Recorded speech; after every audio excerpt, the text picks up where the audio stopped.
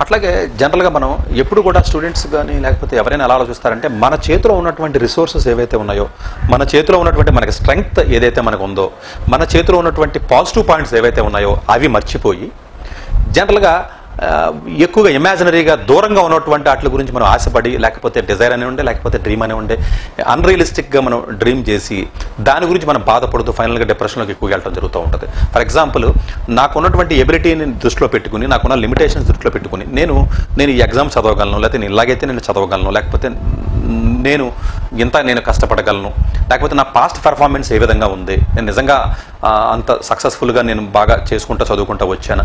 ఇవన్నీ దృష్టిలో పెట్టుకుని మనం దానికి తగ్గట్టుగానే మనం పెట్టుకుని మనం బాధపడడం లేకపోతే ఆనందపడడం అనేది చేయాలి తప్ప జనరల్గా ఈ యొక్క అంటే దూరంగా ఉన్నటువంటి చేతు వాటి గురించి ఆలోచిస్తూ ఉంటాం. అలాగే మనకి సాధించినటువంటి ఏవైతే లైఫ్లో చాలా సాధించినవి మనకు ఉంటాయి ఇంతకుముందు. అంటే ఫుల్ ఎఫర్ట్స్ పెట్టి సాధించినవి. అవి ఏవైతే ఉంటే అవి గుర్తు చేసుకుని లేకపోతే మనకున్న పాజిటివ్స్ని గుర్తుపెట్టుకుని లేకపోతే మనకున్న పాజిటివ్స్ని ఒక్కొక్కటి ఒక్కొక్కటి పెంచుకోవడానికి మనం ప్రయత్నం చేయకుండా నెగిటివ్స్ని మనం ఒక్కొక్కటి ఒక్కొక్కటి పెంచుకుని కంపారిటివ్ స్టడీ చేసుకుని పెంచుకుని ఎక్కువగా మనం బాధపడుతూ ఉంటాం మనం. అంటే ఇక్కడ మనం గుర్తుపెట్టుకోవాల్సిన విషయం ఏంటంటే మనం ఎప్పుడు కూడా మన చేతిలో ఉన్న దాని గురించి ఎప్పుడు కూడా ఆలోచించాలి. ఇప్పుడు నేను ఒక పూర్ ఫ్యామిలీలో పుట్టాను లేకపోతే నాకు సరైన హౌసే లేదు లేకపోతే నాకు పేరెంట్స్ లేరు లేకపోతే సరైన మనీ లేదు. అవి బాధపడకూడదు. ఇంకా నీకు ఉన్నవేంటి బాడీలో అన్ని పాటలు ఇచ్చి ఉన్నాయి. భగవంతుడు నీకు ఇచ్చాడు. బాడీలు అన్ని పాటలు పనిచేస్తున్నాయి? పనిచేస్తున్నాయి. నడవగలుగుతున్నావు?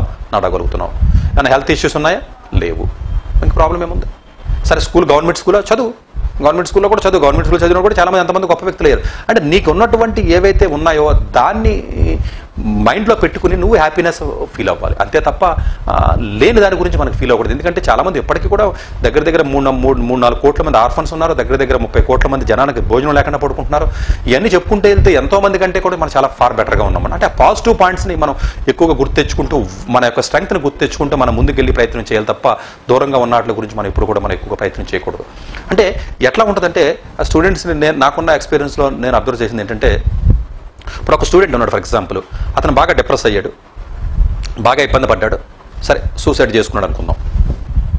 లాజికల్గా మీరు దాన్ని స్టడీ చేస్తే ఇదే స్టూడెంట్ ఇదే ఫ్యామిలీ మెంబర్స్ ఇదే పేరెంట్స్ ఫర్ ఎగ్జాంపుల్ వేరే చోట ఉన్నారనుకుందాం లెట్ అస్ అజ్యూమ్ దట్ అంటే ఏదో ట్రాన్స్ఫర్ అయ్యి వచ్చారు అలా కాకుండా ఇన్స్టిట్యూట్ ఆఫ్ హైదరాబాద్ ఎక్కడన్నా వేరే చోట ఏ వైజాగ్లో ఎక్కడన్నా ఉన్నారనుకుందాం ఇప్పుడు అదే పేరెంట్స్ అదే స్టూడెంట్ ఆ స్టూడెంట్ వేరే స్కూల్లో జాయిన్ అయి ఉండొచ్చు. ఆ స్టూడెంట్కి వేరే ఫ్రెండ్స్ ఉండ ఉండొచ్చు. ఆ స్టూడెంట్స్కి వేరే రిక్వైర్మెంట్లు కానీ ఇంకోటి కానీ ఇంకోటి కూడా వచ్చి ఉండొచ్చు. మేబీ ఒక హైదరాబాద్ వచ్చిన తర్వాత ఇక్కడ ఉన్న ఫ్రెండ్ సర్కిల్ కానీ వాళ్ళు కానివ్వండి లేదా ఎడ్యుకేషన్ సిస్టమ్ వల్ల కానివ్వండి లేకపోతే whatever the other reasons వల్ల ఫైనల్గా డిప్రెషన్లోకి వెళ్ళారు ఆ అబ్బాయి సూసైడ్ చేసుకున్నాడు. జస్ట్ మీరు లాజికల్గా దాన్ని స్టడీ చేసినట్లయితే ఇదే స్టూడెంట్ వేరే ప్లేస్లో వేరే సర్కమ్స్టెన్సెస్లో వేరే ఫ్రెండ్స్తో వేరే ఎడ్యుకేషనల్గా ఉన్నట్లయితే అతను ఆ పని చేసుకోడు. అంటే ఇక్కడ మనం గుర్తుపెట్టుకోవాల్సింది ఏంటంటే ప్రాబ్లం మనిషిది కాదు. ఈ ప్లేస్ ఇక్కడ మారడం వల్ల ఇక్కడ ఉన్న సర్కమ్స్టాన్సెస్ ఏవైతే ఉన్నాయో ఇతన్ని ఇలా చేయడానికి పురుగొల్పినాయి. డిప్రెస్ అవడానికి అంటే ఇక్కడ ఏంటంటే మనిషి దగ్గర ఫాల్ట్ ఉందా అంటే మనిషి దగ్గర ఫాల్ట్ ఏం లేదు అక్కడ. అంటే ఎక్స్టర్నల్ ఫ్యాక్టర్స్ ఏవైతే ఉన్నాయో అవి ఇన్ఫ్లుయెన్స్ చేసి టెంపరీగా ఇన్ఫ్లుయెన్స్ చేసి నాట్ ఇన్ పర్మనెంట్ టెంపరీగా ఇన్ఫ్లుయెన్స్ చేసి అతన్ని అందులో గెంటి ఫైనల్గా అతని లైఫ్ లేకుండా చేసుకోవడానికి కారణమయ్యింది. అంటే ఇదే వ్యక్తి వేరే చోట ఉంటే వేరే రకంగా ఉంటాడు. మరి అదే ఫ్యామిలీ అదే పేరెంట్స్ నేను నేను చూడండి ఫ్యామిలీని పేరెంట్స్ని మార్చట్లేదు. ఎకనామికల్ కండిషన్స్ కూడా నేను మార్చట్లేదు. జస్ట్ వేరే చోట వేరే స్కూల్లో వేరే ఫ్రెండ్స్తో కానీ చదివినట్లయితే ఇబ్బంది ఏమి ఉండదు. అయిపోయింది. అంటే ఇక్కడ ఏంటంటే ఇతని యొక్క హ్యాపీనెస్ని వేరే ఆటలతో లింక్ పెట్టి అనవసరంగా అన్ఫార్చునేట్గా అతను డిప్రెషన్లోకి వెళ్ళడానికి కారణం అవుతుంది. అంటే నేను నేనుగా పుట్టాను నా లైఫ్ నాది నేను ఎక్కడున్నా ఎటువంటి సర్కమ్స్టెన్స్లో ఉన్నా నేను నాలాగానే బ్రతుకుతాను అనుకున్న వ్యక్తికి ఈ ప్రాబ్లమ్స్ ఉండవు.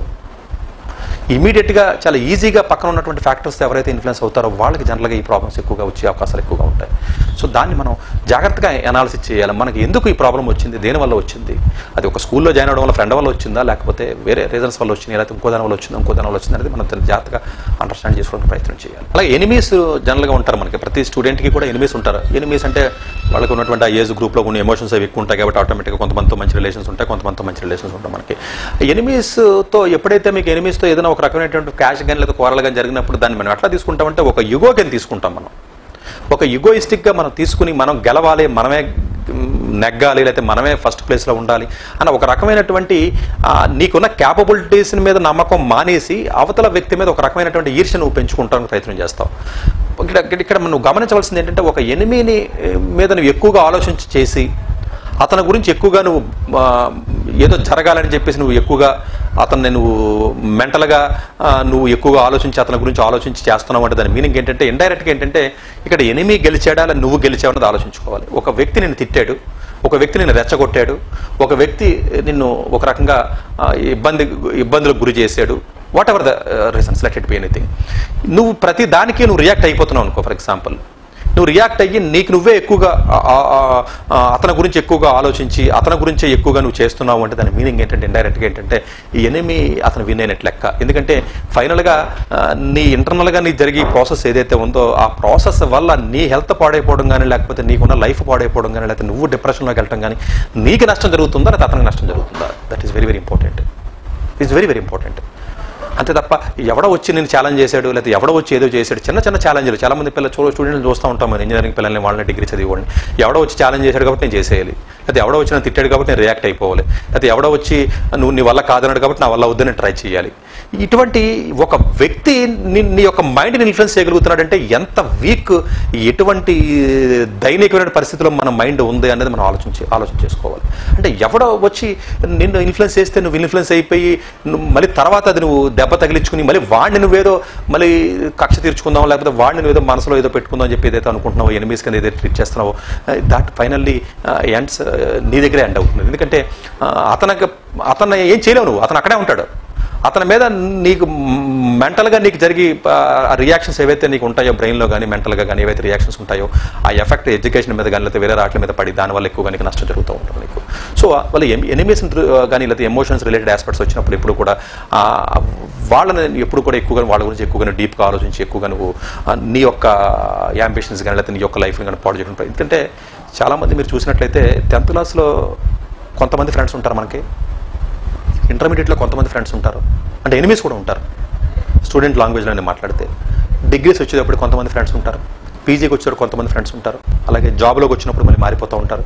మన ట్రాన్స్ఫర్ అయినప్పుడు కొత్త వాళ్ళు పెరుగుతూ ఉంటారు. మీరు జాగ్రత్తగా దాన్ని స్టడీ చేస్తే టెన్త్ క్లాస్లో మనం చదువుకున్నప్పుడు మనకి ఎవరైతే శత్రువులో లేకపోతే ఎవరైతే మనకి ఇబ్బందికరంగా ఉన్నారో లేకపోతే ఎవరైతే బాగా స్నేహితులు కింద ఉన్నారో వాళ్ళు ఎవరో కూడా మీకు పీజీకి వచ్చేటప్పుడు ఉంటారంటే ఉండరు. చాలా తక్కువ మంది ఉంటారు. వన్ ఆర్ టూ పర్సన్స్ మాత్రమే మీకు ఉంటారు. ఎనిమిషన్ అయితే మీరు మర్చిపోతారు కూడా వాళ్ళ లైఫ్ ఆడితే మీ లైఫ్ మీదే. బాగా క్లోజ్గా ఉన్న ఒకళ్ళిద్దరు ఉంటారేమో. అలాగే ఇంటర్మీడియట్లో ఉన్న వాళ్ళు ఎంతమంది డిగ్రీ వరకు పీజీ వరకు జాబ్ వరకు కంటిన్యూ చేస్తున్న రిలేషన్ అంటే హార్డ్లీ టూ త్రీ పీపులే ఉంటారు. అలాగే డిగ్రీలో చదివారు ఎంతమంది వస్తున్నారు? రారు. జాబ్ ఇప్పుడు జాయిన్ అయ్యాను. పదేళ్ళ తర్వాత మళ్ళీ జాబ్ ప్లేస్ మారాను నేను. మళ్ళీ అందరూ ఉంటారా? ఉంటారు అంటే ఎవరైతే మనం బాగా క్లోజ్గా దగ్గరగా ఉంటామో మన మైండ్ సెట్కి ఎవరైతే దగ్గరగా ఉంటారో వాళ్ళ మాత్రమే మన లైఫ్లో ఒక్కొక్కటి ఒక్కొక్కళ్ళు మనకు ఓవర్గా వస్తూ ఉంటారు. ఇప్పుడు నేను చాలా కాలేజీలో చదివాను చాలా చోట్ల జాబులు చేశాను. హార్డ్లీ నాకు ఒక బాగా క్లోజ్గా మాట్లాడే వాళ్ళు పది మంది కూడా ఉంటారేమో అంటే ఇక్కడ అర్థం చేసుకోవాల్సింది ఏంటంటే నేను ఆ ఏజ్లో చదువుకునే ఏజ్లో ఇంటర్మీడియట్లో కానీ లేకపోతే టెన్త్లో కానీ లేకపోతే డిగ్రీస్లో కానీ చదువుకున్నప్పుడు ఎంతో మంది గొడవలు పడి ఉంటాం ఎంతో ఎనిమిస్ ఇవన్నీ జరిగి ఉంటాయి స్టోరీస్. అదంతా టెంపరీ అనే విషయాన్ని మీకు గుర్తు చేయాలని చెప్పి నేను చెప్తున్నాను.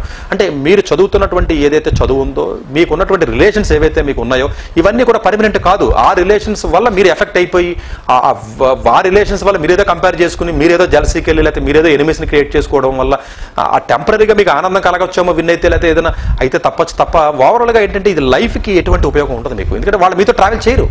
మీతో ఉండరు. మీతో బాగా క్లోజ్గా ఉన్నవాడు ఎంతో క్లోజ్గా ఉన్నవాళ్ళు కూడా ట్రావెల్ చేయరు. వాడి లైఫ్ ఆడితే మీ లైఫ్ మీదే. ఎంతో క్లోజ్గా ఉన్నటువంటి ఫ్రెండ్స్ కూడా ఉంటారు చాలామంది ట్రావెల్ చేయరు. సో అంటే ఈ రిలేషన్స్ అన్ని కూడా టెంపరీగా మీకు అది పెద్దది కింద మీకు అనిపించవచ్చు కానీ ఆ స్టేజ్లో ఆ వయసులో పెద్దది అనిపించవచ్చు కానీ ఓవర్ కొంచెం కొంచెం పైకి వెళ్ళి కొలిది ఏమవుతుందంటే అవన్నీ కూడా విడిపోతే ఫైనల్గా మనతో వచ్చేది మన తల్లిదండ్రులు కానివ్వండి లేకపోతే భార్య పిల్లలు కానివ్వండి వీళ్ళ మాత్రమే మీకు ఎప్పుడు ఉంటారు. క్లోజ్ ఫ్రెండ్స్ నలుగురు ఐదు మాత్రమే ఉంటారు. సో మిగతా అన్ని కూడా టెంపరీ రిలేషన్స్ ఆ టెంపరీ రిలేషన్స్ గురించి మీరు దాన్ని సీరియస్గా తీసుకుని మీరు డిప్రెషన్లోకి వెళ్ళిపోయి లేదా ఇంకోటి ఇంకోటి ఏదో ఆ, చేసుకునే ప్రయత్నాలు ఎట్టి పరిస్థితులు మనం చేయకూడదు. చాలామంది పిల్లల్ని మేము అబ్జర్వ్ చేస్తూ ఉంటాం. ఎక్కువగా ఏంటంటే వాళ్ళ డిప్రెషన్ డిప్రెస్ అవ్వడానికి రీజన్స్ మనం వింటే కొంచెం ఏంటి ఎంత సిల్లీగా ఉందో రీజన్ అనిపిస్తుంది. కానీ యాక్చువల్గా వాడి మైండ్కి అది పెద్దది అనిపించవచ్చు వయసుకి. ఎట్లా ఆలోచిస్తారంటే ఇమాజినరీగా బతుకుతారండి వాళ్ళు. అంటే ఎట్లా ఉంటారంటే అంటే సినిమాలు చూసో లేకపోతే ఏదైనా ఒక సీరియల్స్ కానీ లేకపోతే ఏదైనా షార్ట్ ఫిల్మ్స్ చూసి లేకపోతే పక్కన ఉన్నటువంటి వేరే వ్యక్తులను ఎవరన్నా కొంచెం చూసి ఇవన్నీ చూసి వాళ్ళు కూడా ఆ విధంగా అవ్వాలి అని ఒక ఇమిటేట్ చేయడానికి ప్రయత్నం చేస్తారు. ఎప్పుడైతే మీకు ఇమిటేషన్ అన్నది మీకు వచ్చిందో ఇప్పుడు ఈ ఒక టైగర్ టైగరే లేకపోతే ఒక లైన్ లైనే ఒక హ్యూమన్ బీయింగ్ ఒక హ్యూమన్ బీయింగే ఒక వ్యక్తి ఇంకో వ్యక్తిలాగా అవ్వలేడు భూప్రపంచం మీద. ఎప్పుడైతే మీకు ఇమిటేషన్ అనేది మీకు ఎప్పుడు వచ్చిందో తెలియకుండా ప్రెజర్ బిల్డప్ అవుతుంది. నేను నాలాగా ఉంటే నాకు ప్రెజర్ ఉండదు. నేను నీలాగా ప్రయత్నం చేస్తే ఆటోమేటిక్గా నాకు తెలియకుండా ప్రెజర్ క్రియేట్ అవుతుంది. ఎందుకంటే నేను నటించాలి లేకపోతే నేను ఆ క్వాలిటీస్ని ఇన్బిల్డ్ చేసుకోవాలి ఆ క్వాలిటీస్ని నేను ఒకటి నేర్చుకోవాలి నేను నటించాలి. అది ప్రాక్టికల్గా నాకు కుదరదు. నేను ఎలా ఉన్నానో అలా ఉండగలిగితే ఆటోమేటిక్ ఇమిటేట్ చేయగలిగి చేయలేకపోతే fifty percent of the problems ఏవైతే మనకి ఉన్నాయో ఆటోమేటిక్గా మీకు పోతాయి. అంటే మనం మనం ఆ ఇమాజినరీగా ఉండకూడదు. అంటే ఏదో సినిమా చూసి లేకపోతే ఇట్లా ఉండాలి. ఓహో వీళ్ళు ఇలాగా ఉన్నారు లేకపోతే సినిమాలు ఎలా చేసుకున్నారు లేకపోతే ఎట్లాగా జరిగింది ఇవి చూడకూడదండి. దాని వెనకాల ఉన్న కష్టాన్ని కూడా మనం చూడాలి. ఇప్పుడు ఒక సినిమా హీరో సినిమా చూసి మీరు ఇన్స్పైర్ అవ్వడానికి ఏముంటుందండి అందులో వాడు వెనకాల రో- రోజుకి ఎన్నో గంటల సేపు వాడు బాడీ బిల్డింగ్ చేసి గంటల సేపు కష్టపడి ఒక్కొక్క ఫ్రేమ్ తీయడానికి వంద సార్లు కష్టపడి ఎన్నో సంవత్సరాలు కష్టపడి ఆ స్టేజ్కి వచ్చాడు వాడు. ఆ కష్టాన్ని మీరు చూడరు. ఆ ఫ్రేమ్ మీద ఉన్న వాడిని చూసి నేను ఇన్స్పైర్ అయిపోయాను లేకపోతే నేను అలా అయిపోతాను ఇలా అయిపోతాను అలాగే అయిపోతాను అంటే కాదు. అంటే మొత్తం ప్యాకేజ్ కింద ఆ కష్టాన్ని లేకపోతే వాడు చేసిన మైండ్ సెట్ని వాడుకున్న యాటిట్యూడ్ని అడుగున్న పాజిటివ్ యాంగిల్ని లేకపోతే అడుగున్నటువంటి మెంటల్ స్టామినా మొత్తం కలిపి మీరు తెచ్చేసుకోవాలి. అప్పుడు ఇమాజినరీగా బతకండి. ఇవేవి తేరో ఓన్లీ నేను పైది ఏదో చూసి నేను అలా అయిపోవాలి లేకపోతే పలానా కూడా పాస్ అయిపోయాడు ఎగ్జామ్ నేను కూడా అయిపోవాలి ఎగ్జామ్ అంటే ఎలా అయిపోతాం మనం? వాడు వెనకాల ఉన్న మొత్తం ప్యాకేజ్ ప్యాకేజ్తో తీసుకురండి. పైకి మీకు తెలియదు కదా. సో అలా ఇమాజినరీ వరల్డ్లో మనం బతకడం అనేది ఏదైతే ఉందో అది కరెక్ట్ కాదు. అంటే శారోనెస్ అనేది మనిషికి అవసరం. నేను చెప్పేది బాధపడటం అనేది లైఫ్లో జరగదంటే జరుగుతుంది. శారోనెస్ అనేది ఉండాలి దాని నుంచి కొంత ఒక రకమైనటువంటి ఫైర్ క్రియేట్ అవ్వాలి ఒక రకమైనటువంటి బాధ క్రియేట్ అయ్యి అందులోంచి మనం ఇంకా ఎదగడానికి ప్రయత్నం చేయాలి. అప్ టు లిమిటెడ్ వరకు మీకు వర్రీ ఉండి లేకపోతే ఏదైనా ఒక రకమైనటువంటి శారోనెస్ కానివ్వండి సాడ్నెస్ కానివ్వండి డెఫినెట్గా మంచిదే అది. హెల్త్ కూడా మంచిదే. అలా ఉండడం వల్ల మనిషి ఎదగలుగుతాడు. అంతే తప్ప అది కంటిన్యూస్గా సస్టైనడ్గా ఎప్పుడు కూడా మనకు ఉండకూడదు. అది that is very very important for us అంటే ఎక్స్పెక్టేషన్స్ ఎప్పుడు కూడా మనకి బియాండ్ అవర్ లిమిట్ ఎప్పుడు కూడా మనకి ఉండకూడదు. అది ఫిజికల్గా కానివ్వండి లేకపోతే అతను ఎడ్యుకేషన్ పరంగా కానివ్వండి లేకపోతే ఇంకోటి ఫ్యామిలీ పరంగా కానివ్వండి ఇంకోటి ఇంకోటి. అట్లాగే జనరల్గా ఇంకొక మనం ఇంకా వేరే అదర్ రీజన్స్ కూడా మనం మాట్లాడుకున్నట్లయితే అంటే ఎవరైతే జనరల్గా ఒక వర్క్ని చేసేటప్పుడు అంటే చదివేటప్పుడు కానివ్వండి లేకపోతే ఒక గేమ్ ఆడినప్పుడు కానివ్వండి వాట్ ఎవర్ ఇట్ ఈస్ వాళ్ళు physical strain and mental strain రెండు రకాలటువంటి స్ట్రైన్స్ ఉంటాయండి జనరల్గా అంటే ఎవరైతే ఎక్కువగా మెంటల్గా స్ట్రెయిన్ పాజిటివ్గా కాకుండా నెగిటివ్గా అవుతారు వాళ్ళు జనరల్గా డిప్రెషన్కి అవుతారు. Physical strain not a issue ఫిజికల్గా స్ట్రైన్ అవుతారు ఆటోమేటిక్గా రిలాక్స్ బాడీ రిలాక్స్ అయిన తర్వాత ఆటోమేటిక్గా మళ్ళీ రికూప్ అయిపోతూ ఉంటారు. అంటే మీరు ఏదైనా ఒక పని చేసినప్పుడు ఎట్లా ఉండాలంటేనండి ఇప్పుడు ఫర్ ఎగ్జాంపుల్ నేను పెయింటింగ్ వేస్తున్నాను. నేను పెయింటింగ్ వేస్తున్నప్పుడు నాకు అది ఇష్టం కాబట్టి నేను ఎప్పుడు నేను ట్వంటీ ఫోర్ అవర్స్ చేసినా లేకపోతే లేకపోతే టెన్ అవర్స్ కానీ ఫిఫ్టీన్ అవర్స్ కానీ చేసినప్పటికీ కూడా నేను ఫిజికల్గా ఏదన్నా కొంత స్ట్రైన్ ఏమైనా తీసుకోవడానికి తీసుకో తీసుకుంటాను తప్ప మెంటల్గా నేను స్ట్రైన్ తీసుకోను నేను. ఎందుకంటే నేను I'm happy I'm enjoying with that work. So ఎప్పుడైతే మీకు మెంటల్గా స్ట్రైన్ తీసుకోలేదో ఫిజికల్గా కొంత స్ట్రైన్ వచ్చినప్పటికీ కూడా కొంత అలసట అనేది ఉండదు కాబట్టి ఇమీడియట్గా కొంత టైం రెస్ట్ తీసుకున్నట్లయితే ఆటోమేటిక్గా రికూప్ అయిపోతూ ఉంటారు. అంటే మీరు చేసే పనిలో అది మెంటల్గా స్ట్రైన్ తీసుకుంటున్నారా లేదా ఫిజికల్గా స్ట్రైన్ తీసుకుంటున్నారా అనేది కూడా మీరు డివైడ్ చేసుకోగలగాలి. ఎప్పుడైతే మీరు మెంటల్గా మీ స్ట్రైన్ తీసుకుంటున్నారో అనిపించింది అనుకోండి ఒక వర్క్ డెఫినెట్గా దట్ మే లీడ్. అంటే అది ఏమవుతుందంటే అది ఆటోమేటిక్గా కొంతకాలానికి ఆ శారనెస్ ఆటోమేటిక్గా డిప్రెషన్ రావడానికి ఎక్కువగా అవసరం అంటే చదివి విద్యార్థి ఏదైతే ఉన్నాడో అతను ఒక రకమైనటువంటి మంచి వాతావరణంలో మంచి మంచిగా చదవ చదవాలి తప్ప పక్కోడి కంటే ఎక్కువ మార్కులు రావాలని నువ్వు నువ్వు చదవకూడదు. అప్పుడు నాకు ఆటోమేటిక్గా నీకు తెలియకుండా మెంటల్గా స్ట్రైన్ తీసుకుంటావు.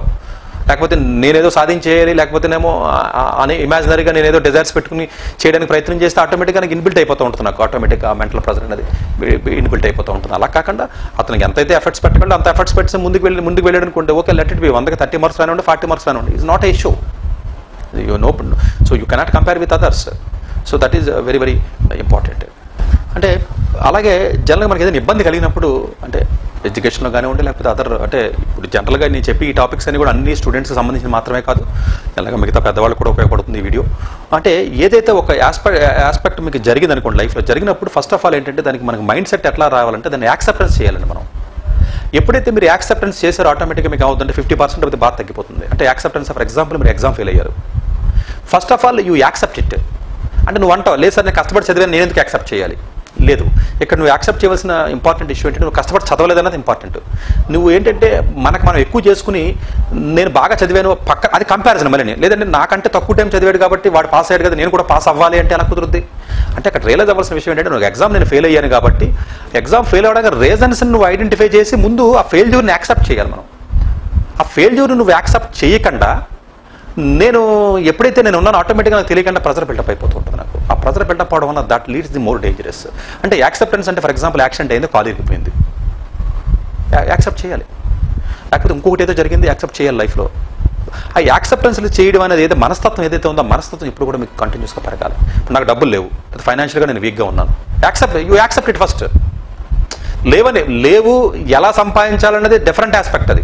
ఫస్ట్ ఆఫ్ ఆల్ లేవు అన్నది నువ్వు యాక్సెప్ట్ చేయి. నేను సరిగా చదవలేకపోయినా నువ్వు యాక్సెప్ట్ చేయి. నేను ఇంకా ప్లాన్ చేసి సరిగా చదవ చదివి ఉండవలసిందనేది రియలైజేషన్ స్టార్ట్ అవుతుంది. నువ్వు యాక్సెప్ట్ చేస్తే రియలైజేషన్ వస్తుంది. Otherwise you do the self justification so ఆ యాక్సెప్టెన్స్ లెవెల్ అనేది మనకి ఎప్పుడు కూడా అంటే నాకు డబ్బులు లేవు కాబట్టి నేను సరిగ్గా చదవలేదు. నాకు హెల్త్ సరిగా లేదు కాబట్టి నేను సరిగ్గా చదవలేదు. మా నాన్న సరిగ్గా ఉంటేనే సరి సరిగ్గా చదవగలిగి ఉండేవాడిని. అలా ఏదో సంబంధం లేని అవుట్ సైడ్ పారామీటర్ పట్టుకొచ్చి దీనికి లింక్ చేసేసుకుని నువ్వు బాధపడిపోతే ఉపయోగం లేదు. లేకపోతే మా నాన్న చదువుకోలేదు కాబట్టి ఇల్లిటరేట్ కాబట్టి నేను సరిగ్గా చదువుకోలేదు. అంటే చూడండి అంటే that is called self justification అలా కాదు. First of all you accept it okay parents చదువుకోలేదు ఇల్లిటరేట్ ఏవి చెప్పలేకపోతున్నారు తెలియదు first of all you accept it parents చదువుకోకుండా పేరెంట్స్ ఇల్లిటరేట్ అవ్వడం వల్ల ప్రపంచంలో ఇండియాలో కాదు ప్రపంచంలో ఉన్నటువంటి గ్రేట్ పర్సనాలిటీస్ ఎవరైతే ఉన్నారో వాళ్ళ పేరెంట్స్ అందరూ చదువుకున్నారా? లేదే? ఫస్ట్ జనరేషన్ సక్సెస్ ఏదైతే మనం చెప్పుకుంటున్నామో ఇప్పుడు రిలయన్స్ దగ్గర నుంచి తీసుకోండి టాటా దగ్గర నుంచి తీసుకోండి లేకపోతే అదర్ మేజర్ ప్రైవేట్ ఇండస్ట్రీ కానీ ఇంటర్ప్రైన్యూర్స్ కానీ లేకపోతే anybody in the world in the first generation of that particular company or entrepreneur డెఫినెట్గా their parents are illiterate once again I'm repeating అంటే అది మీరు జాగ్రత్తగా దాన్ని అర్థం చేసుకోవాల్సింది. అంటే ఎవరైతే మీకు పేరెంట్స్ ఇల్లిటరేట్ పేరెంట్స్ ఉన్నారో వాళ్ళ నెక్స్ట్ జనరేషన్ డెఫినెట్గా ఎంతో సక్సెస్ అయ్యారు. ఇప్పుడు ఇప్పుడు నేను మనం మాట్లాడుకున్నటువంటి సక్సెస్ఫుల్ పర్సనాలిటీస్ ఎవరైతే ఉన్నారో including spiritual leaders including Gautam Buddha తీసుకోండి లేకపోతే స్వామి వివేకానంద తీసుకోండి లేకపోతే ఇంకొకరిని తీసుకోండి ఇంకొకరిని తీసుకోండి. ఎవరిని తీసుకోండి మీరు? మన గాడ్స్ అని చెప్తున్నాం వాళ్ళని కూడా తీసుకోండి. వాళ్ళ పేరెంట్స్ చదువుకోలేదు వాళ్ళ పేరెంట్స్కి ఏం నాలెడ్జ్ లేదు. అంటే ఫస్ట్ జనరేషన్లో వీళ్ళు ఎవరైతే సక్సెస్ అయ్యారో వాళ్ళ పేరెంట్స్ ఎవరు చదువుకోలేదు. అంటే ఆ అవేర్నెస్ అనేది మీకు రావాలి. ఆ అవేర్నెస్ లేకపోవడం వల్ల మీకు మీరే జస్టిఫై చేసేసుకుంటారు. మా నాన్న సరిగ్గా చదువుకోలేదు మా అమ్మ సరిగ్గా చదువుకోలేదు కాబట్టి నాకు సరిగ్గా రాదు. ఒక నీకు లేట్ అవ్వచ్చు సరిగ్గా అవేర్నెస్ లేకపోవడం వల్ల రెండు సంవత్సరాలు లేట్ అవ్వచ్చు మూడు సంవత్సరాలు లేట్ అవ్వచ్చు లేదా పది సంవత్సరాలు లేట్ అవ్వచ్చు తప్ప నువ్వు సక్సెస్ అవుతావు. బట్ ఫస్ట్ ఆఫ్ ఆల్ దాన్ని నువ్వు లింక్ చేయకుండా ఉంటే. నువ్వు దాన్ని లింక్ చేసేసావు నువ్వు మా ఫాదర్ చదువుకోలేదు మా మదర్ చదువుకోలేదు కాబట్టి నేను సరిగ్గా సాధించలేకపోతున్నాను అన్నావంటావు అక్కడతో అయిపోయింది నీ చాప్టర్ క్లోజ్ అయిపోయింది. ఎందుకంటే నువ్వు దాన్ని లింక్ చేసేసి నువ్వు జస్టిఫై చేసేసుకున్నావు. అయిపోయింది. నేను నేను అందంగా లేను కాబట్టి నాకు పెళ్ళి కాలేదు. అందంగా లేను అన్నదాన్ని పెళ్ళి కాలేని దానికి నువ్వు లింక్ చేసేసావు నువ్వు. ఎప్పుడైతే నువ్వు లింక్ చేసేసావు అయిపోయింది. అందంగా లేకపోయినా కూడా పెళ్ళిళ్ళు అవుతాయి లేకపోతే అందంగా సరిగా సరైనటువంటి ఫిజికల్గా ఎపీరియన్స్ లేకపోయినా కూడా ఎంతో మంది ఎన్నో సాధిస్తున్నారు ఎంతో జరుగుతున్నాయి. బోల్డ్ ఎగ్జాంపుల్స్ ఉన్నాయా? అంటే అలా జరిగినటువంటి ఎగ్జాంపుల్స్ నువ్వు తీసుకోవడానికి నువ్వు మెంటల్గా సిద్ధంగా లేవు నువ్వు. ఓన్లీ నెగిటివ్గా నువ్వు ఆలోచించి నెగిటివ్గా ఉన్నట్లు మాత్రమే నువ్వు తీసుకోవడానికి సిద్ధంగా ఉన్నావు నువ్వు. లేకపోతే పక్కన ఉన్నవాడు ఎవడో ఎవడికో వాడికి ర్యాంక్ వచ్చింది. ర్యాంక్ రాని వస్తే రాని. లెట్ ఇట్ బి నువ్వు అంటే నువ్వు కష్టపడలేదు నీ యాటిట్యూడ్లో ప్రాబ్లం ఉంది నేను సరిగ్గా నేను చేసుకోలేకపోయినా అన్న విష విధానం ఏదైతే ఉందో దాన్ని నువ్వు ముందుకు ఆలోచన చేసుకోవడానికి ట్రై చేయాలి. ఒక స్టూడెంట్ నా దగ్గరికి వచ్చి సార్ నేను ఇలాగ నేను కష్టపడి చదివాను నేను వన్ ఇయర్ చదివాను టూ ఇయర్ చదివాను ఎగ్జామ్లో నేను క్వాలిఫై అవ్వలేకపోయాను నాకు చాలా బాధగా ఉంది అని చెప్పి చెప్పడం జరిగింది. చెప్తే నేను చెప్పాను? కాదమ్మా నువ్వు లాస్ట్ టూ ఇయర్స్ నుంచి కష్టపడి చదువుతున్నాను అని అన్నావు కదా. సరే మిగతా వాళ్ళు ఎంతసేపు చదివారు వాళ్ళకి ఎలా వచ్చిన ర్యాంకులు అనేది పక్కన పెట్టు. ఎవరి లైఫ్ వాళ్ళదే.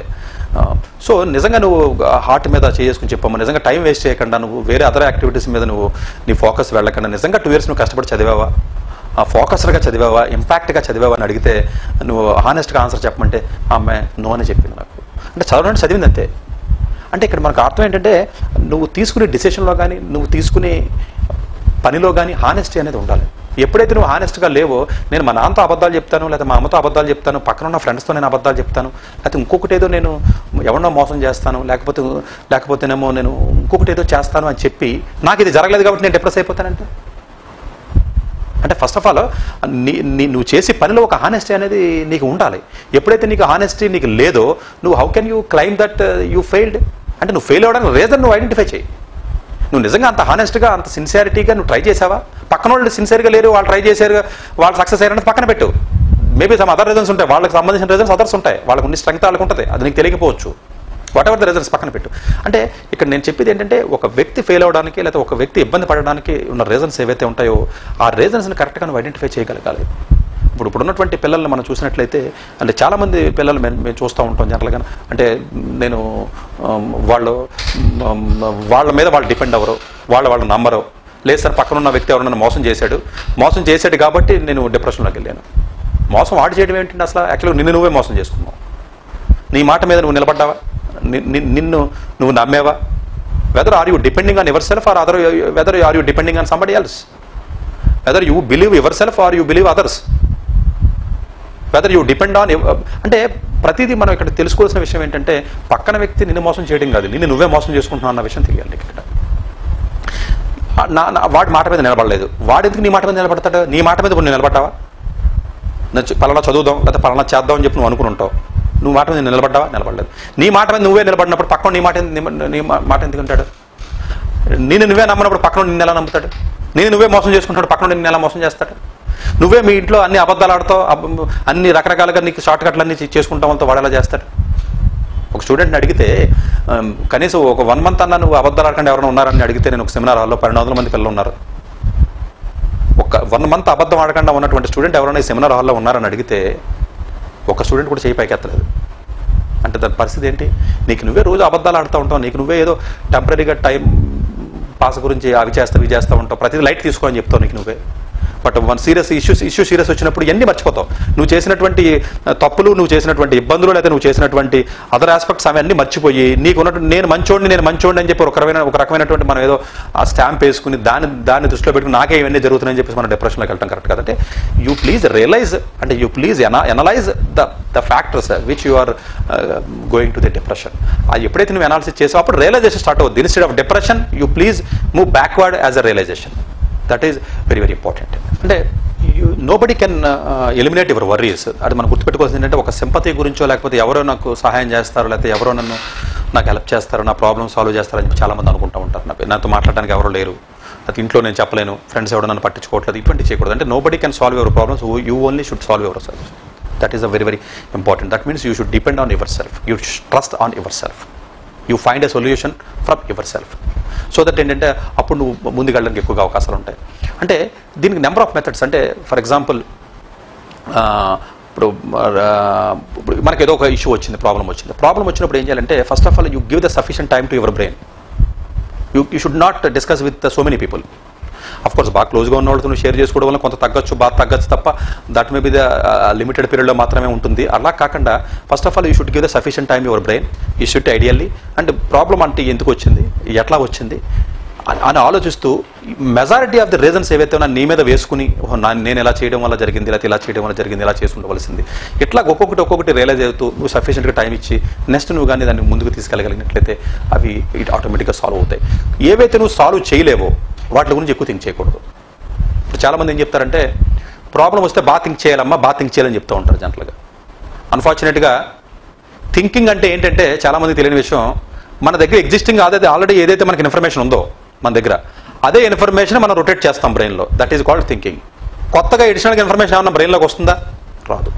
అంటే నువ్వు సేమ్ పాయింట్ని థింక్ చేసి థింక్ చేసి దాన్ని రొటేట్ చేయడం వల్ల నెగిటివ్గా లీడ్ అవుతుంది తప్ప పాజిటివ్గా లీడ్ రాదు అది. చాలామంది ఏంటారంటే ఏదైనా ఒకటి చెప్పాం అనుకోండి మనం. సార్ నేను థింక్ చేయాలి సార్ అంటారు. పోనీ రేపు అడిగితే ఇంకా థింక్ చేయలేదు ఇంకా చేయాలి. ఎల్లుండి అడిగితే ఇంకా థింక్ చేయాలి. ఏం థింక్ చేస్తాడు థింక్ చేయడానికి ఇంకా ఎడిషనల్ ఇన్ఫర్మేషన్ ఏమైనా ఉందా వాడి దగ్గర? ఏం ఉండదు. వాడి దగ్గర ఉన్న ఎగ్జిస్టింగ్ ఇన్ఫర్మేషన్ బ్రెయిన్ లేసి తిప్పుతూ ఉంటాడు అలాగా. ఆ తిప్పినప్పుడు క్లారిటీ ఉండకుండా తిప్పుతూ ఉంటాడు. ఫైనల్గా ఇట్ యాండ్స్ విత్ ఏదో ఒక నెగిటివ్గా లేదా ఒక డిప్రెషన్కి వచ్చే అవకాశం ఉంటుంది. అందువల్ల మన థింక్ థింకింగ్ ఎక్కువ చేయడం వల్ల సొల్యూ సొల్యూషన్స్ రావు ఎక్కువగా. చాలా మంది చెప్తారు థింక్ థింకింగ్ కరెక్ట్ థింకింగ్ చేయకూడదు. క్లారిటీ రావాలి. ఉన్న existing ఇన్ఫర్మేషన్తో you give a sufficient time and you should get a clarity on your thought process ఆ థాట్ ప్రాసెస్లో ఆ క్లారిటీ అనేది తెచ్చుకోవడానికి ట్రై చేయాలి తప్ప నువ్వు ఆల్టర్నేటివ్లో ఎన్నిసార్లు థింక్ చేసినా కూడా ఆ బ్రెయిన్లో అదే ఇన్ఫర్మేషన్ ఉంటుంది అదే మనిషి కాబట్టి కొత్తగా అక్కడ రాదు. అట్లాగే ఒక స్టూడెంట్ నన్ను ఒక సెమినార్లో అడగడం జరిగింది. ఒక అబ్బాయి ఏమన్నాడంటే నాతో సార్ నేను ఇలాగా ఎక్కువగా బాగా ఇబ్బంది పడుతున్నాను బాగా డిప్రెస్ అవుతున్నాను నేను. అసలు దేని మీద నేను స్టడీస్ చేయలేకపోతున్నాను దేని మీద నేను ఫోకస్ పెట్టలేకపోతున్నాను ఏంటి సార్ అది ఇది అని చెప్పి చెప్పి అడగడం జరిగింది. దానికి నేను ఒకటే చెప్పాను ఫర్ ఎగ్జాంపుల్ నువ్వు స్టడీస్ మీద ఫోకస్ పెట్టలేకపోతున్నావు. నీకు డిప్రెస్ అవుతున్నావు కొంచెం ఇబ్బంది కలిగింది. సరే నువ్వు డిప్రెస్ అవ్వడం వల్ల నీ ప్రాబ్లం ఏమైనా సాల్వ్ అయిందని అడిగిన ఫస్ట్ క్వశ్చన్. సాల్వ్ అవ్వలేదు సార్. బట్ సాల్వ్ అవ్వనప్పుడు నువ్వు డిప్రెస్ అవ్వడం వల్ల ఉపయోగం ఏంటి? సార్ ఇది అందరూ అదే చెప్తున్నారు సార్ మీరు కూడా అదే చెప్తే ఎలా సార్? అన్నాడు ఓకే దానికి కూడా అతను కన్విన్స్ అవ్వలేదు. లేదా ఒక పని చేయమ్మా లేదా ఒక పని చేయి. నువ్వు డిప్రెస్ అవ్వడం తప్పదని నువ్వే చెప్తున్నావు. సరే ప్రాబ్లం సాల్వ్ అవ్వడం లేకపోవడం పక్కన పెడదాం. ఎందుకంటే హ్యూమన్ యాటిట్యూడ్ కాబట్టి వస్తుంది.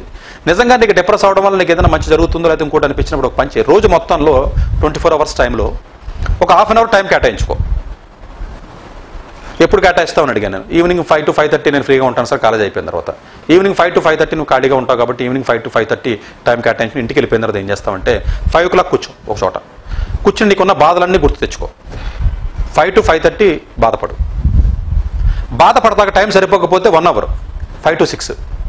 One hour కూడా టైం సరిపోలేదంటే ఫైవ్ టు సిక్స్ థర్టీ బాధపడు. ఇంకేం పని చేయకూడదు నువ్వు. ఓన్లీ బాధపడడం ఒకటే చేయాలి. చేసిన తర్వాత మళ్ళీ సిక్స్ థర్టీ అయిపోయిన తర్వాత నువ్వు ఫ్రీ అయిపోవాలి. మళ్ళీ రొటీన్గా నువ్వు నీ పనులు చేసుకోవాలి నువ్వు హ్యాపీగా ఉండాలి. మళ్ళీ నెక్స్ట్ డే వచ్చినప్పుడు మళ్ళీ కూర్చోవాలి. టైం సరిపోతే ఎక్స్టెండ్ చేయి ఇబ్బంది లేదు. మళ్ళీ నెక్స్ట్ డే. అదేంటి సార్? మిగతా టైం మిగతా నువ్వు నువ్వు బాధపడాలని డిసైడ్ అయ్యో డిప్రెషన్లో ఉన్నావు. నీకు కావాలి. ఆ టైం స్లాట్ తీసేసుకో నువ్వు.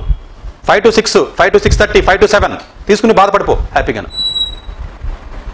బాధపడిపోయిన తర్వాత మిగతా టైం అన్నా హ్యాపీగా ఉండు కనీసం. ఎందుకంటే నువ్వు బాధపడడం వల్ల ప్రాబ్లం ఎలాగ సాల్వ్ అవ్వదు. నువ్వు ట్రై చేయి కంటిన్యూస్గా బాధపడాల్సిన అవసరం ఉంది మిగతా టైంలో చదువు మిగతా టైంలో గుర్తించుకోక అవన్నీ గుర్తు సో దట్ అట్లీస్ట్ కొంతకాలానికి నీకు అర్థం అవుతుంది ఓహో బాధ అంటే ఏంటి డిప్రెషన్ అంటే ఏంటి హ్యాపీ అంటే డిఫరెన్స్ అనేది తెలుస్తుంది నీకు. నీకు ఏంటంటే కంటిన్యూస్గా అదే నువ్వు దాన్ని మైండ్లో వేసి ఏదో రీల్ వేసినట్టుగా తిప్పుతూ తిప్పుతూ తిప్పుతున్నావు కాబట్టి అదే వస్తూ ఉంటుంది నీకు. కొత్తగా ఇన్ఫర్మేషన్ ఏం రాదు నీకు. వ్యాపారం లాస్ వచ్చింది. వచ్చింది లాస్ అంతే. ఎగ్జామ్లో ఫెయిల్ అయ్యో ఫెయిల్ అయ్యో అయిపోయింది ఆల్రెడీ నువ్వు దాన్ని పది గంటలు తిప్పితే ఏంటి ఇరవై గంటలు తిప్పితే ఏంటి ఇరవై ఐదు గంటలు తిప్పితే ఏంటి? You make a time that is called worry time అంటారు దాన్ని. You make a time for worry itself అదొక అదొక వర్డ్ వర్రీ టైం అంటారు దాన్ని. ఒక టైం స్లాట్ ఫిక్స్ చేసుకుని అందులో నువ్వు అక్కడికి వెళ్ళిపోయి అక్కడ బాధపడు అని చెప్పాను అతను అడిగితే సర్ప్రైజ్ అయ్యాడు. సార్ ఇదేంటి సార్ ఇలా చెప్పారు సార్ ఎలా ఇది ఎక్కడ ఎక్కడ వెళ్ళలేదు ఇలా చెప్పారండి సార్? నువ్వు ట్రై చేయమని ఇంటికి వెళ్ళని చెప్పాను నేను. తర్వాత నాకు ఫోన్ చేయమని చెప్పాను. సో ఒక రెండు మూడు రోజులు ఇబ్బంది అయింది నాలుగు రోజులు ఇబ్బంది పడ్డాడు. తర్వాత ట్రై చేస్తే కొంత రకంగా సక్సెస్ అయ్యాడు ఒక రకంగా. అంటే మిగతా టైంలో ఆలోచించాడు. ఓన్లీ ఆ five to six o'clock ఏదైతే ఉందో లేదా ఆ- టైంని అతను బాధపడడం ఆలో బాగా ఆలోచించి బాధపడడం మొదలుపెట్టాడు. సో కొంత రోజులకి అతనికి అనిపించింది అతనికి అసహ్యం వేసింది. ఇదేంటిది? నేను ఎగ్జామ్ ఆల్రెడీ ఫెయిల్ అయిపోయాను. ఇప్పుడు కొత్తగా నేను బాధపడటం వల్ల నేను సాధించింది ఏంటి అన్న విషయం అతను అర్థం అవడానికి కొన్ని రోజులు పట్టింది. కంటిన్యూస్గా బాధపడేవాడికి అర్థం కాదు. అంటే you should give the sufficient time for ఎవరి హ్యాపీనెస్ నీకు నిజంగా బాధపడాలని కూడా కొంత స్లాట్ ఇచ్చాను. సరిపోతుంది. అంటే ఇక్కడ మనం అంటే నేను ఇది వినడానికి కొంచెం జోవియల్గానో లేకపోతే జోక్గా ఉండొచ్చు తప్ప ప్రాక్టికల్గా if you implement it then you will get the result ఏదైనా ఒక ఈ ఆస్పెక్ట్ మనకు వచ్చింది అనుకోండి. అంటే అది ఫెయిల్యూర్ కానివ్వండి వాట్ ఎవర్ ఇట్ ఈస్ దాన్ని షేర్ మార్కెట్లో మనకి స్టాప్ లాస్ అని చెప్పి ఒక పదం ఉంటుంది మనకి. స్టాప్ లాస్ అంటే అర్థం ఏంటంటే నువ్వు ముందే ఎక్స్పెక్ట్ చేసి ఒక షేర్ కొంటున్నాం మనం. ఒక షేర్ కొంటున్నప్పుడు వంద రూపాయలతో నేను షేర్ కొన్నాను. కొన్నప్పుడు నువ్వు మెంటల్గా ఎలా ఫిక్స్ అవుతావు అంటే ఇరవై రూపాయలు లాస్ అయినప్పటికీ కూడా ఎనభై రూపాయలు వస్తే నేను అమ్మేసుకుంటాను. అలాగే ప్రాఫిట్ కూడా అలాగే మనం పెడతాం. ఒక ట్వంటీ రూపీస్ మన ప్రాఫిట్ వచ్చినట్లయితే నేను ఎగ్జిట్ అయిపోతానని చెప్పి అనుకుంటాం. That is called stop loss అంటాం మనం. అంటే షేర్ మార్కెట్లో చేసే వాళ్ళకి కొంచెం అవగాహన ఉంటుంది. అంటే ఇక్కడ కూడా మనకి ఏదైనా ఒక ఒక ఒక ఒక డిసిషన్ తీసుకునేటప్పుడు ఒక ఇబ్బంది కలిగినప్పుడు ఏంటంటే ఒక స్టాప్ లాస్ అనేది పెట్టుకోవాలి మనం. అంటే ఎట్లా పెట్టుకోవాలంటే నేను ఈ పలానా వర్క్ చేస్తున్నాను కాబట్టి మెంటల్గా నువ్వు కొంత ప్రిపరేషన్ అనేది అవసరం. ఒకవేళ ఈ సంవత్సరం ఎగ్జామ్ ఏమైనా ఇబ్బంది కలిగి సరిగ్గా చదవలేకపోయి లేకపోతే ఇంకొకటి ఏదైనా ప్రాబ్లం వచ్చింది అనుకుంటే అట్లీస్ట్ ఓకే కొంత అయినా కూడా పర్వాలేదు మనకి. నైంటీ పర్సెంట్ టార్గెట్ పెట్టుకున్నాను. ఒక ఎయిటీ సెవెంటీ ఫైవ్ వచ్చినా కూడా పర్వాలేదు లేకపోతే సంథింగ్ కొంచెం ఎక్కువ వచ్చినా పర్లేదు. అట్లాగా అంటే ఒక ఒక రిస్క్ని నువ్వు ముందే అసెస్మెంట్ చేసి దాన్ని మెంటల్గా నువ్వు ప్రిపేర్ అవ్వడం అంటారు దాన్ని నువ్వు. అంటే ఏంటంటే ఒక వరస్ట్ కండిషన్ కొంతమంది ఇలా కూడా కాదు స్టాప్ లాస్ కాదు. కొంతమంది నేను చూశాను నేను వరస్ట్ కేసు కూడా వాళ్ళు మెంటల్గా ప్రిపేర్ అయిపోతాడు వాడు. ఫర్ ఎగ్జాంపుల్ నేను ఈ రోజున ఫైవ్ ల్యాక్స్తో బిజినెస్ చేశాను బిజినెస్ చేసేటప్పుడు మైండ్ సెట్ ఎలా ఉంటుందంటే వాడికి ఈ ఫైవ్ ల్యాక్స్లో ఒక వన్ ల్యాక్ లాస్ వస్తే నేను తట్టుకోగలనా? టూ ల్యాక్స్ లాస్ వస్తే తట్టుకోగలనా? అయితే ఫైవ్ ల్యాక్స్ లాస్ వచ్చినా కూడా పర్వాలేదా? అని అడిగితే కొంతమంది ఎలా ఆలోచిస్తారంటే ఫైవ్ ల్యాక్స్ పెడుతున్నాను. ఫైవ్ ల్యాక్స్ లాస్ వచ్చినా కూడా రిస్క్ నేను వచ్చినా కూడా నాకు పర్వాలేదు. వరస్ట్ కేసు నేను సిద్ధపడ్డాను అని బిజినెస్ చేయడం అనుకుందాం. వాడికి టూ ల్యాక్స్ వచ్చినా కూడా అంటే త్రీ ల్యాక్స్ లాస్ అయ్యి టూ ల్యాక్స్ ఉన్నా కూడా హ్యాపీ ఫీల్ అవుతాడు. లేదు నాకు వన్ ల్యాక్ లాస్ అయితే పర్లేదు నేను. అట్లీస్ట్ ఆ ఫోర్ ల్యాక్స్ పోకూడదు అని అనుకున్నాను అనుకోండి. నిజంగా one lakh one lakh loss అయినా కూడా వాడికి ఏమి అంటే వరస్ట్ కండిషన్స్ ఏవైతే కొన్ని లైఫ్లో మనకు వచ్చే అవకాశాలు ఉన్నాయో ఆ వరస్ట్ కండిషన్ని ముందే అసెస్మెంట్ చేసి నువ్వు యాక్సెప్టెన్స్ కానీ చేయగలిగితే ఆటోమేటిక్గా నీకు కొంత బాధ అనేది ఉండదు. ఇప్పుడు ఒక వ్యక్తి మర్డర్ చేస్తున్నాడు. మర్డర్ చేసి వాడు రేపు జైలుకి వెళ్ళాలి జైలుకి వెళ్ళిన నాలుగేళ్ళు ఐదేళ్ళు ఉండాలని ముందు మెంటల్గా డిసైడ్ అయిపోయి మర్డర్ చేశాడు అనుకోండి వాడు. ఆడు హండ్రెడ్ పర్సెంట్ రేపు మర్డర్ చేసిన తర్వాత కూడా పెద్దగా బాధపడ్డవాడు. ఎందుకంటే అది ఆల్రెడీ ఎక్స్పెక్ట్ చేశాడు ఆ రిస్క్ నాడు తీసుకున్నాడు కొంత దాన్ని యాక్సెప్టెన్స్ చేసేసుకున్నాడు వాడు. ఆటోమేటిక్గా పెద్దగా బాధ ఉండదు వాడికి. మర్డర్ చేసి తప్పించుకుందాం ట్రై చేస్తాడు చూసారా? ఆడికి ఆడికి వన్ ఇయర్ జైలు శిక్ష పడ్డా కూడా ఆడికి ఇబ్బందిగా ఉంటుంది అడికి ఎందుకంటే అయ్యో లేదు తప్పించుకుందాం ట్రై చేశాను సిన్సియర్గాను బట్ కాకపోతే నాకు వన్ ఇయర్ జైలు శిక్ష పడింది కదా అంటాడు. అంటే ఒక తప్పు చేసేటప్పుడు కూడా అంటే జనరల్గా హ్యూమన్స్ తప్పులు చేయడం తప్పు మనకి సహజం కాబట్టి అంటే స్టూడెంట్స్ కానివ్వండి ఎవరైనా సరే ఏదైనా ఒక తప్పు చేసినప్పుడు కొంత వరస్ట్కి నువ్వు నువ్వు మెంటల్గా సిద్ధపడాలి. ఇప్పుడు ఒక వ్యక్తి ఇప్పుడు ఫర్ ఎగ్జాంపుల్ ప్రతిది హండ్రెడ్ పర్సెంట్ ఇప్పుడు ఒక అబ్బాయి ఒక అమ్మాయిని ఏదో లవ్ చేస్తున్నాడు. లేకపోతే ఒక అమ్మాయి ఒక అబ్బాయిని లవ్ చేస్తున్నాడు. హండ్రెడ్ పర్సెంట్ నేను ఈడితోనే పెళ్ళి చేసేసుకోవాలి వీడితోనే ఉంటాను. లేకపోతే మొత్తం లైఫ్ అంతా ఇతనితోనే ఇతనితోనే ఉండాలనేది రకరకాలుగా డ్రీములు కలగని కలగని ఒక చిన్న డిస్టర్బెన్స్ వస్తే నేను డిప్రెషన్లోకి వెళ్ళిపోతున్నాను. ఇక్కడ నువ్వు అర్థం చేసుకోవాల్సిన విషయం ఏంటంటే నీ నీ లైఫ్ నువ్వు అనుకున్నటువంటి ఇమాజినరీగా నువ్వు నువ్వు నువ్వు కావాలి అని చెప్పి నువ్వు అనుకుంటున్నావు కాబట్టి ఆ అబ్బాయితో నీ యొక్క హ్యాపీనెస్ వాడితో లింక్ పెట్టావు కాబట్టి నీ యొక్క ఆనందాన్ని వాడితో నువ్వు లింక్ పెట్టావు కాబట్టి నువ్వు అనుకున్నట్టు వాడు ఉండాలనుకుంటున్నావు కాబట్టి నువ్వు అనుకున్నట్టు నీ లైఫ్ నువ్వు వాడితో జీవిందాం అనుకుంటున్నావు కాబట్టి ఇవన్నీ జరగవు ప్రాక్టికల్గా ఆటోమేటిక్గా నీకు ఏదో ఒకటి అప్సెట్ చేస్తాడు వాడు. అప్సెట్ చేశాడు కాబట్టి reasons let it be anything reasons maybe anything ఏదో ఒకటి అప్సెట్ అయింది కాబట్టి ఆటోమేటిక్గా నేను డిప్రెషన్లోకి వెళ్ళిపోతానంటే అలాగా అట్లాగే కొంతమంది మనం చూసినట్లయితే ఎఫర్ట్స్ ఎక్కువగా పెట్టరు కానీ రిజల్ట్ ఎక్కువగా రిజల్ట్ కావాలని చెప్పేసి ఎక్కువగా మనం ఎక్స్పెక్ట్ చేస్తూ ఉంటాం. ఫోర్ ఇయర్స్ డిగ్రీ కానీ త్రీ ఇయర్స్ డిగ్రీ కానీ సరిగ్గా చదవడం సరిగ్గా టైం వేస్ట్ చేస్తాడు సరిగ్గా తిరుగుతాడు లేదా ఇంట్లో వాళ్ళు చెప్పినట్టు వినడం ఏది కూడా కరెక్ట్గా ప్రాపర్గా జరగదు థర్డ్ ఇయర్ వరకు. సడన్గా ఫైనల్ ఇయర్కి వచ్చేసిన తర్వాత నాకు ఉద్యోగం వచ్చేయాలి. స్కిల్ ఏముందామని అడిగితే చెప్పలేడు. అంటే ఇక్కడ ఏంటంటే ఎక్స్పెక్టేషన్స్ ఎక్కువగా ఉండంటే మనకు ఉన్నటువంటి ఎఫర్ట్స్ మనం ఏం పెట్టాము మనం ఎలాగ మనం నిజంగా చదవగలిగిన హార్ట్ మీద చేసుకుని నిజంగా నేను ఒక్కరోజు కూడా వేస్ట్ చేయకుండా నిజంగా సిన్సియర్గా నేను నిజంగా చదివాను అని అడిగితే ఆ నో అని ఆన్సర్ దానికి నువ్వు బాధపడు. ఫెయిల్ అనేది బాధపడకు. అంటే ఇక్కడ మనం బాగా అండర్స్టాండ్ చేసుకోవాల్సిన విషయం ఏంటంటే ఒక ఒక- ఒక ఫెయిల్యూర్ జరిగినప్పుడు ఫెయిల్యూర్ జరగడానికి నువ్వు బాధపడి డిప్రెస్ అవ్వకూడదు. ఫెయిల్యూర్ అవ్వడానికి కారణాలు ఏవైతే ఉన్నాయో ఫెయిల్యూర్ అవ్వకుండా నీకు ఏవైతే అవకాశాలు వచ్చినాయో ఆ అవకాశాలను నువ్వు సద్వినియోగం చేసుకున్నందుకు నువ్వు బాధపడాలి. It's very important point failure అయినప్పుడు దాన్ని దృష్టిలో పెట్టుకుని ఆ రిజల్ట్ని బట్టి నువ్వు బాధపడకూడదు. ఇది అవ్వకుండా నీకు అవకాశం భగవంతుడు ఇచ్చాడు నీకు. అంటే సరైన టైంను వేస్ట్ చేసుకున్నావు సరిగ్గా చదవలేదు. ఫర్ ఎగ్జాంపుల్ అయితే ఏదో అన్ అన్నెసరీ ఎమోషన్స్ని అన్నెసరీ వాటితో నువ్వు ఇన్వాల్వ్ అయ్యావు వేసావు. అయితే ఏదో ఆల్కహాల్ నీకు అలవాటు అయ్యింది లేకపోతే నువ్వు ఇంట్లో ఏయో రకరకాలుగా నువ్వు టైం వేస్ట్ చేసుకున్నావు లేకపోతే మనీ వేస్ట్ చేసుకుని ఉండొచ్చు రిసోర్సెస్ వేస్ట్ చేసుకుని ఉండొచ్చు వాట్ ఎవర్ ద వేస్ట్ చేసుకున్నావు అంటే అవకాశం నీకు వచ్చినప్పుడు నువ్వు వేస్ట్ చేసుకున్నావు. సరే జరిగింది తప్పు జరిగింది లెట్ ఇట్ బి ఎనీథింగ్ ఇలా నేను సరిగ్గా ప్రాపర్గా నేను ఉపయోగించుకోలేదు అన్న దాని గురించి నువ్వు బాధపడు. ఎంత బాధపడినా పర్లేదు. అది పాజిటివ్గా కన్వర్ట్ అవుతుంది అది చూసారా డిప్రెషన్ అనేది పాజిటివ్గా కూడా కన్వర్ట్ అవుతుంది. శారోనస్ అనేది పాజిటివ్గా కూడా కన్వర్ట్ అవుతుంది. అదే రిజల్ట్ సరిగా రాలేదు కాబట్టి నువ్వు బాధపడుతున్నావు అనుకో that will lead to negative depression that is very very important అంటే ఆ రీజన్స్ నువ్వు ఐడెంటిఫై చేయగలగాలి. అంతే తప్ప నేను డిప్రెస్ అవ్వకూడదు అవ్వకూడదు అంటే కాదు. అంటే నీకు సింపతి చూపించి లేకపోతే నువ్వు మంచోడివి లేకపోతే నీకు నీకు అన్యాయం జరిగింది నీకు అన్యాయం జరిగింది అని ఎవడో నాలంటోడు చెప్పడం వల్ల నీకు టెంపరీగా నీకు రిలీఫ్ వచ్చి ఎమోషనల్గా నువ్వు హ్యాపీ ఫీల్ అవ్వచ్చేమో తప్ప పర్మనెంట్గా you won't get the solution ఆ సొల్యూషన్ అనేది నీలోనే ఉంటుంది నువ్వు దాన్ని ఫైండ్ అవుట్ చేసి బయటకు తీసుకురావాలి తప్ప ఒక వ్యక్తి ఇస్తే ఒక సొల్యూషన్ అనేది ఎప్పుడు కూడా నీకు రాదు అంటే అలాగే లైఫ్లో ఎప్పుడు కూడా బెస్ట్ థింగ్స్ మీరు కావాలనుకున్నప్పుడు ఎనీథింగ్ స్టడీస్కి సంబంధించి కానివ్వండి లేకపోతే బిజినెస్కి సంబంధించి కానీ ఏదైనా సరే. ఒక బెస్ట్ థింగ్ మీరు కావాలి అనుకున్నప్పుడు డెఫినెట్గా నువ్వు ఎప్పుడు కూడా నువ్వు చేసే వర్క్ కూడా ఎలా ఉండాలంటే ఎవరు చేయనటువంటి వర్క్ ఎక్స్ట్రా వర్క్ చేయాలి. ఫర్ ఎగ్జాంపుల్ ఒక ఎగ్జామ్ మీరు ప్రిపేర్ అవుతున్నారు. మంచి స్కోర్ నువ్వు చేయాలని డిసైడ్ అయ్యో మంచి స్కోర్ చేయాలని డిసైడ్ అయినప్పుడు దాని యొక్క కాంపిటీషన్ రేషియో ఎలా ఉంది? ప్రతి వంద మందికి ఒకరు సెలెక్ట్ అవుతారు అనుకుందాం ఫర్ ఎగ్జాంపుల్ అంటే దాని అర్థం ఏంటంటే నైంటీ నైన్ స్టూడెంట్స్ ఎవరైతే ఉన్నారో నైంటీ నైన్ స్టూడెంట్స్ చదవనది. నైంటీ నైన్ స్టూడెంట్స్ ఆన్సర్ చేయనిది నైంటీ నైన్ స్టూడెంట్స్ పెట్టలేనటువంటి ఎఫర్ట్స్ని. నైంటీ నైన్ స్టూడెంట్స్ ఆలోచించకుండా ఉన్నటువంటి వేలో నువ్వు ఆలోచించగలిగి. Ninety nine percent of the ninety nine students hard working కంటే కూడా నువ్వు ఎక్కువ చేయగలిగి వాళ్ళకంటే కూడా అన్ని నువ్వు అన్ని ఫ్యాక్టర్స్లో మోస్ట్ ఆఫ్ ది ఫ్యాక్టర్స్లో నువ్వు అన్నింటిని కూడా ముందుకు రాగలిగితే అప్పుడు నువ్వు వన్లో ఉంటావు. నేను నీట్ కోచింగ్ వెళ్ళాను కదా వన్ ఇయర్ లేదా లాంగ్ టర్మ్ కోచింగ్ వెళ్ళాను కదా లేకపోతే నేను ఐఐటీకి వెళ్ళాను కదా టూ ఇయర్స్ కష్టపడ్డాను కదా నాకు ర్యాంక్ రావాలంటే రాదు. అక్కడ నువ్వు అండర్స్టాండ్ చేసుకోవాలి. నా యొక్క యాక్సెప్టెన్స్ లెవెల్ ఎలా ఉంది నా క్యాపబిలిటీ ఎలా ఉంది నేను సబ్జెక్ట్ని అండర్స్టాండ్ ఎలా చేసుకోగలుగుతున్నాను నాలుగు సార్లు చదివితే చేసుకుంటున్నానా మూడు సార్లు చేసుకుంటే చేస్తున్నానా లేదా ఐదు సార్లు పడుతుందా లేదా సరిగ్గా అండర్స్టాండ్ చేసుకోలేకపోతున్నానా ఇవన్నీ కూడా అనాలిసిస్ చేసుకుని నాకు ఈ ర్యాంక్ రావాలి కాబట్టి నేను ఎంత ఎఫర్ట్ పెట్టాలనేది ఒక కాలిక్యులేషన్ అనేది ఉండాలి నీకు. కాలిక్యులేషన్ లేకుండా ఏదో రెండు నెలలు చదివాను లేకపోతే మూడు నెలలు చదివాను లేకపోతే పక్కడు ర్యాంక్ వచ్చేసింది లేకపోతే నాకెందుకు రాలేదు నేను డిప్రెషన్లోకి వెళ్ళిపోతాను లేకపోతే లాంగ్ టర్మ్ కోచింగ్ తీసుకున్నాను.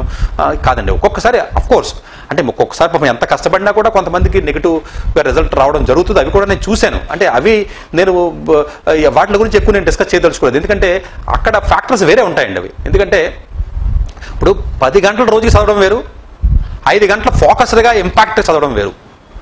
ఇప్పుడు కొంతమంది లాంగ్ టర్మ్ తీసుకుని టూ ఇయర్స్ చదువుతారు. వాడు షార్ట్ టర్మ్ తీసుకుంటాడు ఆరు నెలలు చదువుతాడు పాస్ అవుతాడు. ఇక టైం మీరు క్యాలిక్యులేషన్ చేయకూడదు. అన్ఫార్చునేట్గా మనం ఏం మనం ఎలా ఆలోచిస్తూ ఉంటే? ఒక్కొక్కసారి టైంను కూడా మనం క్యాలిక్యులేషన్ చేస్తూ ఉంటాం. అంటే దీని ఇంటర్నల్గా చాలా పారామీటర్స్ ఉంటాయి. అంటే ఇంపాక్ట్ ఎంత పెట్టావు నువ్వు? ఫోకస్ ఎంత పెట్టావు? ఎంత కాన్సన్ట్రేటెడ్గా చదవగలిగావు? డిస్ట్రాక్షన్స్ లేకుండా చదవగలిగావా?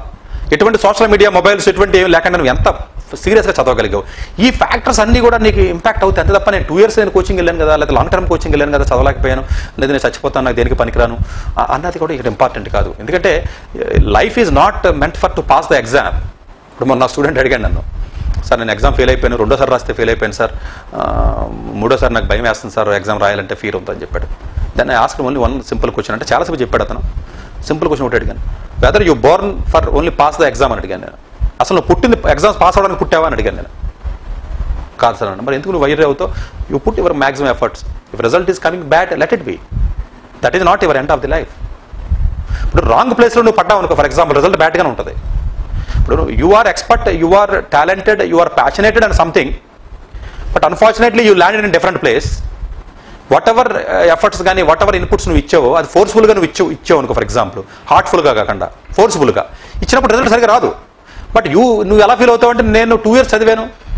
నేను కష్టపడ్డాను రాలేదనుకుంటా. కాదు నువ్వు ఇచ్చినటువంటి ఎఫర్ట్స్లో ఒక రకమైన హార్ట్ఫుల్నెస్ కానీ ఒక రకమైన ప్యాషనేట్గా లేదు కాబట్టి రిజల్ట్ రాలేదు అంతే. ఒక లెట్ ఇట్ బి. ఇప్పుడు క్లాసులో చాలామంది మీరు అబ్జర్వ్ చేసి ఉంటారు చాలామంది తెలిసే ఉంటుంది.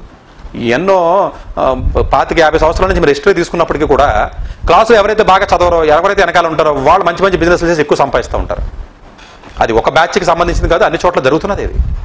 టాపర్స్ ఎవరైతే ఉన్నారో వాళ్ళు ఎక్కడ గవర్నమెంట్ జాబుల్లో అయితే వేరే చోట ఎక్కడో చోట ఇరుక్కుపోయి అటు నెలకి యాభై వేలు అరవై వేలు లక్ష రూపాయలు సంపాదిస్తూ ఉంటారు.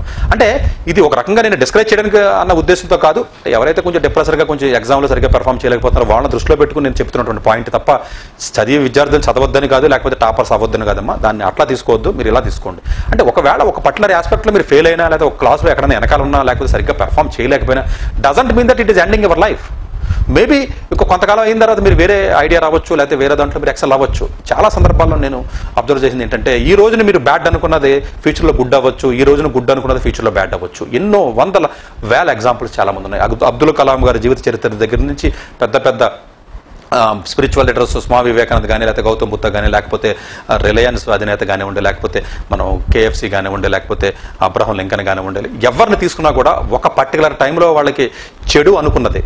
నేను ఫెయిల్ అయిపోయాను నేను దేనికి పనికిరాను నేను సక్సెస్ అవ్వలేకపోయాను అని చెడుగా అనుకున్న చెడు జరిగింది అని డిప్రెషన్లోకి వెళ్ళినటువంటి ఎవరైతే ఉన్నారో అదే చెడు వాళ్ళకి మంచి కింద పాజిటివ్ కింద కన్వర్ట్ అయినటువంటి సందర్భాలు వందల వేల లక్షల ఎగ్జాంపుల్స్ మన భూమి మీద ఉన్నాయి మనకి. అంటే ఈ రోజున టెంపరీగా నీకు ఫెయిల్ అవ్వచ్చు ఫర్ ఎగ్జాంపుల్ నువ్వు ఈ రోజు నువ్వు ఎగ్జామ్ ఫెయిల్ అయ్యావు. ఏమో ఎవరికి తెలుసు మళ్ళీ రెండోసారి ఫెయిల్ అయ్యావు. సరే నీకు డాక్టర్ అవ్వలేకపోయావు నువ్వు. నీట్లో క్వాలిఫై అవ్వలేదు హూ నోస్ దట్ వేరే పొద్దున ఫ్యూచర్లో ఒక హాస్పిటల్ పెట్టక నువ్వు ఒక హాస్పిటల్ పెట్టి నువ్వు ఒక ఓనర్ అవ్వచ్చేమో. లేకపోతే ఇంకొక బిజినెస్ చేసి డబ్బులు సంపాదించవచ్చేమో లేకపోతే ఇంకొక ఫీల్డ్లోకి వెళ్ళి నువ్వు ఏమైనా సాధించగలవేమో. మేబీ ఆ రోజు నీకు అనిపించవచ్చు ఆ రోజు నీట్ క్వాలిఫై అవ్వకపోవడం వల్లే ఈ రోజున అలా జరిగింది అని చెప్పేసి. ఒక్కొక్కసారి మంచి జరిగిందని నువ్వు అనుకుంటావు? అది బ్యాడ్ కింద కన్వర్ట్ అవుతుంది. అది దట్ కన్ బి డన్ ఎనీవే నేను జాబ్లోకి రాకముందు నేను ట్యూషన్ చెప్పేవాడిని. దగ్గర దగ్గర నేను అప్పట్లోనే రోజు సంవత్సరానికి వచ్చి దగ్గర దగ్గర సెవెన్ ఎయిట్ ల్యాక్స్ సంపాదించేవాడిని నేను. ఒక ఫైవ్ టెన్ ఇయర్స్ నేను ఎర్న్ చేశాను నేను స్టూడెంట్ ఏజ్గా ఉన్నప్పుడే. సో నాకు సర్వీస్ వచ్చింది నేను uh, గవర్నమెంట్ జాబ్లోకి వచ్చాను నేను. నాకు అప్పుడప్పుడు అనిపిస్తూ ఉంటుంది. ఆ రోజు నేను సర్వీస్ వచ్చినప్పుడు హ్యాపీగా ఫీల్ అయ్యాను నేను. But maybe sometimes I my feel very very రేర్గా అంటే హానెస్ట్లీ మేబీ అదే ఇన్స్టిట్యూట్ నేను కంటిన్యూ చేస్తుంటే ఈ రోజున ఐదు వందల కోట్లు వెయ్యి కోట్లు టర్న్ ఓవర్కి వెళ్ళిపోయి ఉండేమో ఆ- రోజులో నేను టాప్ టెన్ ర్యాంకులు నేను రప్పించగలిగాను. గేట్ ఎగ్జామ్ అని లేకపోతే వేరే వేరే అదర్ కోచింగ్ ఎంసెట్ అని లేకపోతే వేరే అదర్ ఈ సెట్ అని వేరే వేరే ఎంట్రన్స్ చెప్పాను నేను. అంటే ఆ రోజు నాకు మంచి అనిపించింది. సబ్సిక్వెంట్గా ఆ అది అలా జరిగి ఉండకపోతే మంచిది మంచిది కాదేమో అని అనిపించవచ్చు అట్లాగే చాలా మంది లైఫ్లో ఏంటంటే ఒక సమ్ ఇన్స్టెంట్లో అది ఫెయిల్ అవ్వడం కానీ లేకపోతే దెబ్బ తగలడం లేదా బ్రేకప్ అయింది ఫర్ ఎగ్జాంపుల్. బ్రేకప్ అయినప్పుడు నీకు బాధ కలిగి ఉండొచ్చు లేకపోతే ఏదైనా ఒక రకమైనటువంటి ఇబ్బంది కలగచ్చు ఒక మనిషితో నీకు బ్రేకప్ అయినప్పుడు. బట్ అది నిజంగా అది మంచిగానేమో ఒకవేళ. నువ్వు హూ నోస్ అది ఒక నీకు మంచి జరగడానికి నీకు అలా జరిగిందేమో భగవంతుడు అలా ఆ రకంగా నీకు రాసి పెట్టాడేమో. ఒక ఒక అమ్మాయి నేను అందంగా లేను అందంగా లేను కాబట్టి నాకు చాలా ఇబ్బందిగా ఉంది. సైకలాజికల్గా నేను ఇబ్బంది పడుతున్నాను డిప్రెషన్గా ఉన్నాను లేకపోతే నేను పొట్టిగా ఉన్నాను చెప్తాను చెప్తారు. మేబీ అది ప్లస్ పాయింట్ ఏమో ఎవరు తెలుసు నీకు. అలా ఉంది కాబట్టి నేను నీవు వేరే అదర్ అట్రాక్షన్స్ మీద అదర్ ఎమోషనల్ కానీ లేకపోతే అదర్ రిలేషన్స్ నువ్వు మెయింటైన్ చేయలేకుండా ఓన్లీ చదువు మీద ఫోకస్ పెట్టడానికి భగవంతుడు నీకు అవకాశం ఇచ్చాడేమో. ఓన్లీ చదువు మీద ఫోకస్ పెడతావు. పెట్టిన తర్వాత నువ్వు నువ్వు రేపు ఫ్యూచర్లో మెరాకల్స్ నువ్వు సృష్టించగలవేమో. హూనోస్ అంటే లేదా నీకు హెల్త్ బాగోలేదు. ఇప్పుడు హెల్త్ బాగోలే కొంతమంది హ్యాండ్ లేకుండా లేదా లెగ్స్ లేకుండా లేకపోతే హెల్త్ బాగున్న సాధించారు లైఫ్లో చాలా మంది సాధించారు ఈవెన్ స్పోర్ట్స్లో కూడా. ఒకవేళ హెల్త్ సరిగా లేకపోవడం వల్ల సాధించాడని నేను అంటాను నేను. నిజంగా హెల్త్ ఉంటే అటు సాధించలేకపోతుండేమో ఒకవేళ.